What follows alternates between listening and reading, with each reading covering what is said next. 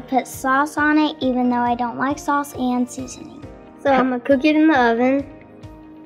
Um, I'm gonna put chocolate on top of it. I'm gonna put um some gummy worms in it.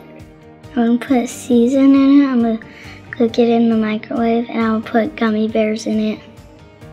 It's gonna be burnt.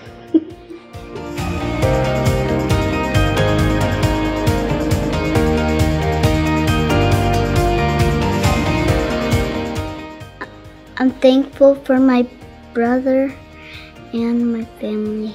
Well, this Thanksgiving, I'm thankful to be at school to learn and be and be like at home doing stuff.